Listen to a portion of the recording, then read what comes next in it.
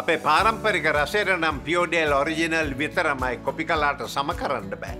ආහාරපාන වර්ග කිහිපයක මිල ඊයේ මධ්‍යම රාත්‍රයේ සිට ක්‍රියාත්මක වන පරිදි ඉහළ දමන බව සමස්ත ලංකා ආපනශාලා හා අවන්හල් හිමියන්ගේ සංගමේ සභහපති හර්ෂණ රුක්ෂාන් මහතා මාධ්‍ය හමුවක් කැඳවමින් පැවසුවා. ඒ අනුව ප්ලේන්ටයක් රුපියල් පහකින් කිරිතේ එකක් රුපියල් දහයකින් කෙටි ආහාර රුපියල් දහයකින් සහ පරට හා බිත්තර රොටි මිල රුපියල් දහයකින්ද ඉහළ දමන බවයි ඔහු කියා සිටි. බත් පැකට්ටුවක මිල රුපියල් විසි පහකින් සහ ෆ්‍රයිඩ් රයිස් සහ කොත්තු මිල රුපියල් පණහකින්ද ඉහළ දමන බවද එම සංගමය පැවසුවා. නමුත් ජාතික පාරිභෝගික පෙරමුණේ සභාපති අසේල සම්පත් මහතා පැවසුවේ එම මිල වැඩිකිරීම පදනම් විරහිත බවයි. ඊයේ මධ්‍යම රාත්‍රියේ ඉඳලා මේ රටේ ආපනශාලාවල හෝටල්වල කෑම් මිල වැඩි කියලා මේ කොත්තු බාස් කෙනෙක් ඇවිල්ලා මාධ්‍යට කියනවා. කෑම් මිල වැඩි කරන්න මොකද්ද ඇති වුණ හේතුව? ඒ වෙනකොට රුපියල් 2000 කැරට් කිලෝ එක රුපියල් 300 අඩු වෙලා තියෙනවා. ඒතර ගෑස් වැඩි වුණාද? ලයිට් බිල් වැඩි වුණාද? ඉන්ධන වැඩි වුණාද? මේ මොනවත් නැතුව එකපාරට එල කියනවා කෑම් මිල වැඩි කරා කියලා. මේ විපක්ෂයේ හෝ ආණ්ඩු පක්ෂයේ ඇමතිවරයෙක් තමයි මේ මෙහෙවන කියලා අපිට ආරංචි වෙලා තිබෙන්නේ. මේ ආපනශාලා හිමියන්ගේ සංගමය කියන හාදයා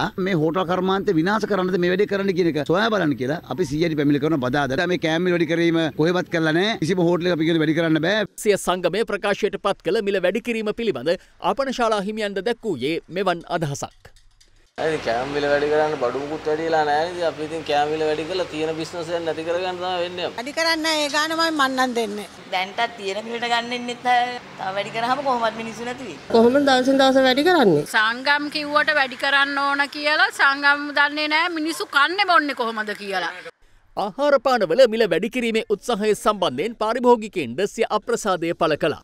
ගන්න පඩියෙන් දවස රුපියල් 10ක් විතර නේ කිලෝවල කෑමට. පාම්බාගේ පරිච්ඡේදය කාපුවම 150යි 200යි කියනවා. ඉතින් වැඩි කරපුවම කොහොමද? ගෑස් එක රුපියල් 100ක් වැඩි කරොත් ඒ ගාන අප 50ක් දැම්ම හොයාගන්න පුළුවන් දවසට. ඉතින් කවදාවත් ව්‍යාපාරිකය වැටෙන්නේ නැහැ. ජනතාව හැමදාම පරාදයි.